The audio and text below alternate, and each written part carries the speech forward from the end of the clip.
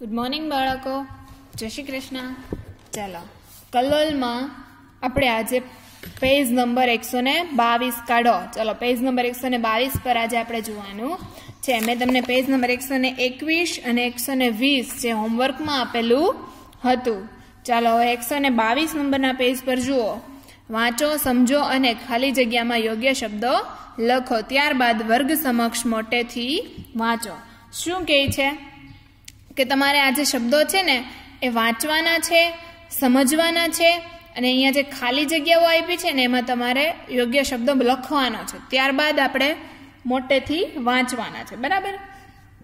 ચલો, તો વાંચવાનો તો મેળ નહીં આવે, પણ આપણે લખી શકીશું. બરાબર ને? તો વાંચશું અને મોટેથી બોલી લઈએ અત્યારે.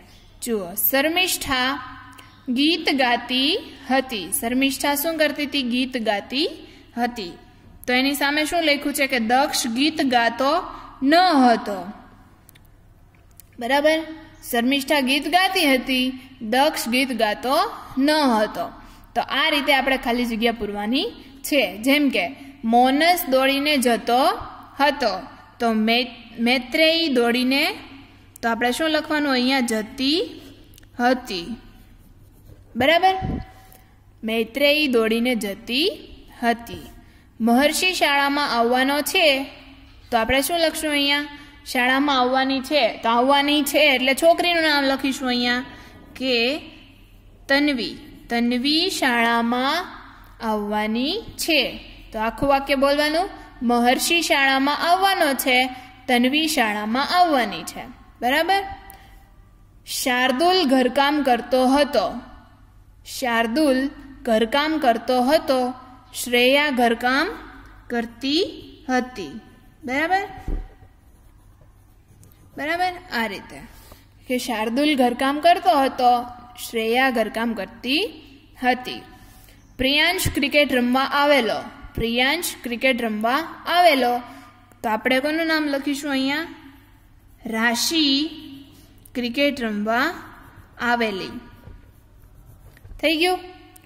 પ્રિયાંશ ક્રિકેટ રમવા આવેલો, રાશિ ક્રિકેટ રમવા આવેલી. થઈ ગયા બધા વાક્યો? વંચાઈ ગયા, લખાઈ ગયા મોટે મોટેથી ચલો તે વસ્તુ લખી નાખજો તમે અને ધ્યાન રાખજો, બરાબર? ચલો જોઈએ નીચે.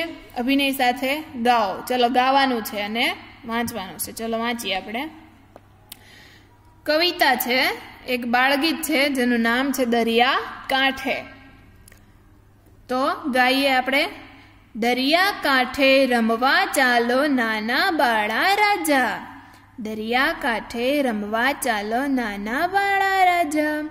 રેતીમાં રમવાને ચાલો રે બાળા રાજા. રેતીમાં રમવાને ચાલો બાળા રાજા. જો, શું કહે છે? કે દરિયા કાંઠે રમવા જવાનું છે. કોને કહે છે? નાના નાના, તમારા જેવા નાના નાના બાળકોને એમ કહે છે કે દરિયા કાંઠે રમવા ચાલો રેતીમાં રમવા ચાલો. શંખલા છીપલા વીણીને માળા રે બનાવીશું.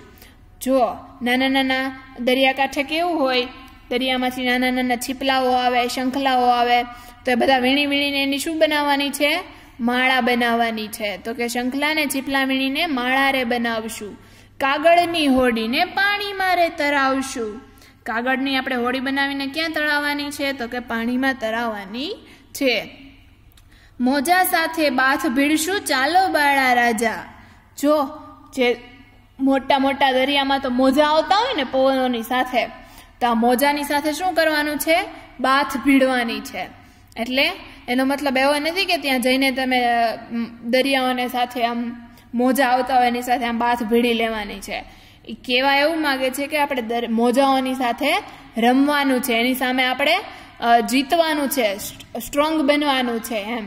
કે મોજા આવે છે, તો આપણે એનાથી ડરી નથી જવાનું કે આપણે એની સાથે પાછું તણાઈ નથી જવાનું, પણ આપણે એની સામે લડવાનું છે એમ.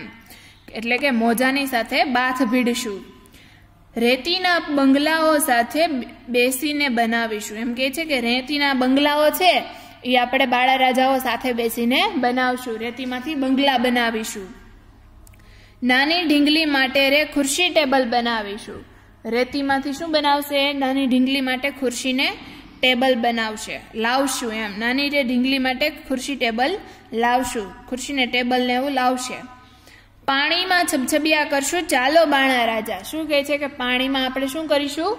છબછબિયા કરશું. ચાલો બાળા રાજા. ઊંચા ઊંચા આભલે સૂરજ દાદા આવશે. આભલો એટલે આકાશ. કે ઊંચા ઊંચા આકાશે કોણ આવશે? સૂરજ દાદા આવશે. સંધ્યા રંગોને પાણી મારે બિછાવશે. સંધ્યા એટલે કે સાંજ પડે જ્યારે સૂરજ દાદા આથમે ત્યારે શું થાય? એના કિરણો કેવા હોય?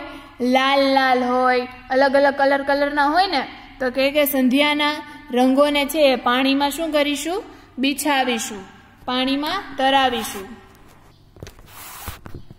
સંધ્યાના રંગોને પાણીમાં બિછાવીશું.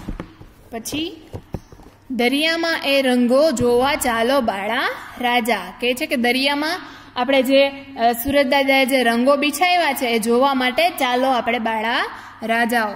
નાની નાની માછલીઓ કાંઠે રમવા આવશે.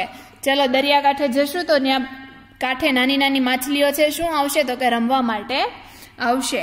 ગીત મધુરા ગાશું, દરિયો હિલોળા લાવશે. આપણે જ્યારે પછી ત્યાં બેસીને શું કરશું? નાના ગીત છે, મધુરા ગીતો ગાશું. અને દરિયો છે એ શું કરશે તો કે હિલોળા લાવશે. એટલે કે મોટા મોટા મોજા લાવે તો આપણને એવું લાગે ને કે દરિયો છે એકદમ હિલોળા ખાય છે એમ. એટલે કે દરિયો હિલોળા લાવશે. મોજામાં હિલોળા જોવા ચાલો બાળા રાજા, કે જે મોજા આવશે ત્યારે હિલોળા આમ આમ થતા છે ને તરંગો. તો એ જોવા માટે છે બાળા રાજા, તમે ચાલો. તો ચાલો બાળા રાજા, આપણે દરિયાકાંઠે રમવા જઈએ. ચલો, તો આ એક મધુરું ગીત આપણે જોયું. હવે આપણે એની નીચે જોવાનું છે.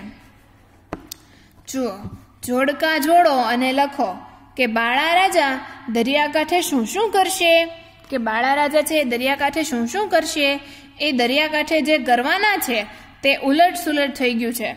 જો બાળા રાજા છે દરિયાકાંઠે કંઈક કરવાના છે એ શું થઈ ગયું છે? ઉલટ સુલટ થઈ ગયું છે. એ સરખું કરીને ઉદાહરણ મુજબ નીચે વાક્યો લખો. કહે છે કે બાળા રાજા દરિયાકાંઠે શું શું કરવાના છે? એ દરિયાકાંઠે જે જે કંઈ કરવાના છે, એ બધી વસ્તુ છે અહીંયા શું થઈ ગઈ છે? ઉલટ સુલટ થઈ ગઈ છે. આપણે એક સરખું કરીને જોડવાનું છે.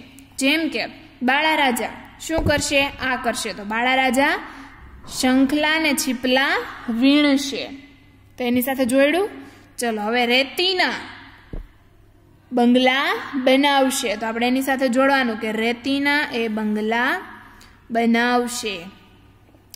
બાળા રાજા દરિયામાં શું કરશે? રંગો જોશે. બાળા રાજા દરિયામાં રંગો જોશે. મોજા સાથે બાથ ભીડશે. બાળા રાજા મોજા સાથે બાથ ભીડશે. કાગળની હોડી બનાવશે. કાગળની હોડી બનાવશે. બરાબર ને? જો શંખલાને છીપલા વીણશે રેતીના ઢગલા બંગલા બનાવશે, દરિયામાં રંગો જોશે, મોજા સાથે બાથ ભીડશે ને કાગળની હોડી બનાવશે. બરાબર? હવે પાછળનું પેજ જુઓ તો એમાં શું છે કે ઉદાહરણ મુજબ, એક ઉદાહરણ આપણે આપેલું છે. એમાં લખ્યું છે કે ઉદાહરણ મુજબ, બાળા રાજા દરિયાકાંઠે શંખલા ચીપલા વીણશે. જે આપણે અહીંયા જોયું એ રીતે. તો આપણે એ જ રીતે અહીંયા લખવાનું છે. જેમ કે બાળા રાજા છે રેતીના શું બનાવશે? બંગલા બનાવશે. તો આપણે લખવાનું કે બાળા રાજા રેતીના બંગલા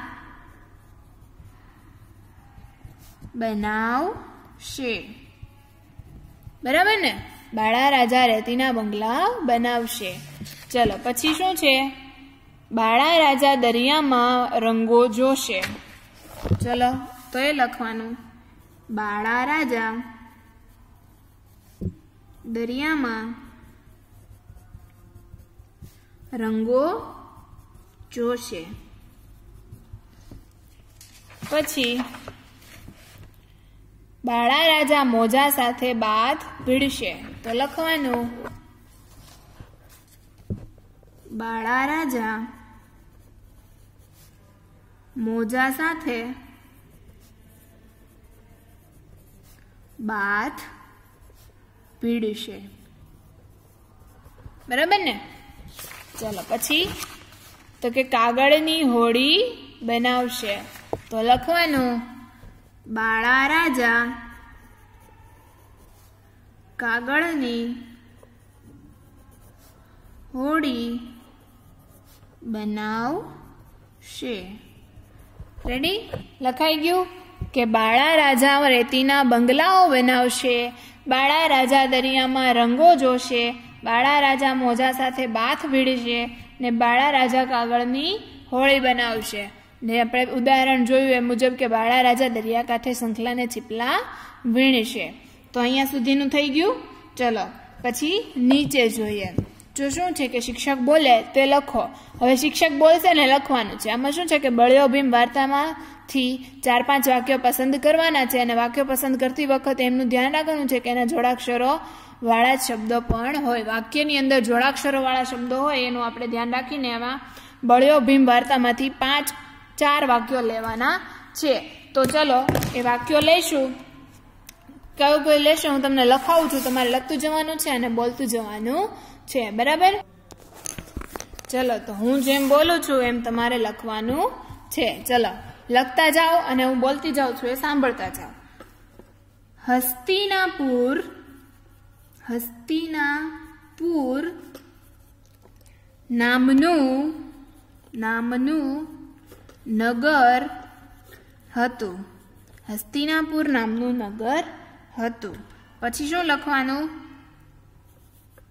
પછી લખો યુધિષ્ઠિરની વાત બધા પાંડવો માને. પછી લખો ભીમે ગુસ્સામાં ઝાડને મુક્કો માર્યો. પછી લખો, ભીમને યુક્તિ સૂજી. જુઓ. હવે આમાં છે ને જો આને જોડિયા અક્ષર કહેવાય. બે શબ્દો જ્યારે જોડેલા હોય ને, ત્યારે એને જોડિયા શબ્દો કહેવાય. તો જેમ કે, બે, એક અડધો શબ્દ હોય ને એક આખો હોય એની સાથે જોડેલો હોય, તો આપણે વાંચવાનું. હસ્તિનાપુર નામનું નગર હતું. યુધિષ્ઠિરની વાત બધા જ પાંડવ માને. ભીમે ગુસ્સામાં ઝાડને મુક્કો માર્યો. ભીમને યુક્તિ સૂજી. થઈ ગયું? કે યસ્તિનાપુર નામનું શું હતું? એક નગર હતું. યુધિષ્ઠિરની વાત છે, બધા જ પાંડવો માને. ભીમને, ભીમે છે, ગુસ્સામાં શું કર્યું? ઝાડને મૂકો, માર્યો અને ભીમને યુક્તિ સૂજી. ચલો, અહીંયા સુધીનું રાખીએ. બાકીનું આવતીકાલે જોઈશું. તો આજે તમારે શું કરવાનું છે? તો કે હોમવર્કમાં તમારે આ એક કવિતા છે, દરિયાકાંઠે. એ તમારે વ્યવસ્થિત લખવાની છે ઘરકામની નોટમાં. ને એકદમ સરસ મજાના અક્ષરે લખવાની છે અને જેટલું પણ છે ને શબ્દ એ બધા વ્યવસ્થિત વાંચતા, લખતા, આવડી જવા જોઈએ. જેના, અને પછી એ વંચાઈ જાય એટલે આજનો જે વિડીયોમાં જેટલું ચલાવ્યું છે મેં, એ બધાનું શું કરવાનું છે? એક વખત રિવિઝન કરવાનું છે. તો આટલું કરવાનું છે. બાકીનું આપણે આવતીકાલે જોશું. આવજો.